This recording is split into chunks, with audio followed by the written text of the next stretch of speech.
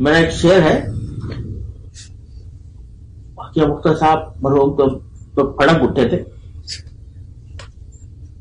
शेर है पहला मिसरा उसका जोश का है।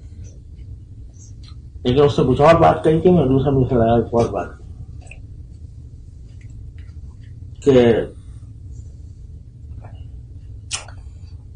दर्द दिल दे के मुझे उसने ये इरशाद किया। दर्द दिल दे के मुझे उसने ये इरशाद किया हम इसी घर में रहेंगे जिसे बर्बाद किया। हम इसी घर इसी घर में रहेंगे जिसे बर्बाद किया। यानी जब चोटें पड़कर ख्वाहिशात बर्बाद होती हैं तो फिर वो अल्लाह ताला का तजल्ली गाह बनता है। तो ये जो है कि ज़बरदस्ती करके अपने आप को ताक पर आमादा करो गुनाह से बचाओ। ज़बरदस्ती करके। एक और शेर मुझे अपना याद आ गया। कि इश्क के दर पे मिली राहत ईमानो यकीन।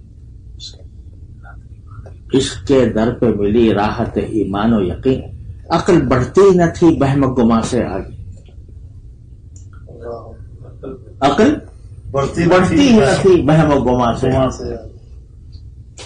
तो ये चीज़ है जो